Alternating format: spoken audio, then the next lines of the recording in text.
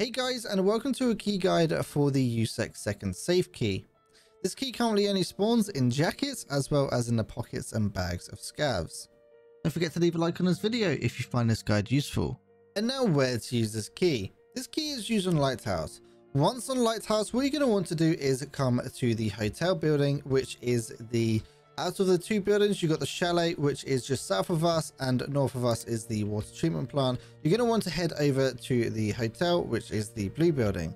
You're going to go in through the main door and then head up the flight of stairs directly in front of you. You're now going to turn right when you get up to the top of the stairs, follow it along, go left, follow it along all the way down to the end of the corridor, and then here is the safe directly in front of you. Now this isn't the normal style of safe where there's an inventory, in this, it is actually a physical safe where you can actually get items, in this case, a Bitcoin. I've got graphics cards, Virtexes, all kind of things in the, these safes. So this is a pretty decent little key. So this key is currently going for 100k. Now, I would personally recommend anything up to 250k for this key so yes, 100k right here is perfect. You saw in the video that we got a Bitcoin and that is 300k in value. So you got the value back in one. There are two safes in the building. This is the second safe key. You can also get yourself the first safe key.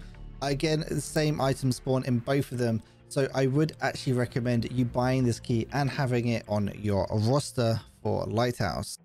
If you are struggling with this task or just in general wanting to find people to play with, head over to piranha.tv slash discord. We do have a decently large looking for group community as well as a Sherpa system so if you just need a bit more help than normal then we are there to help you.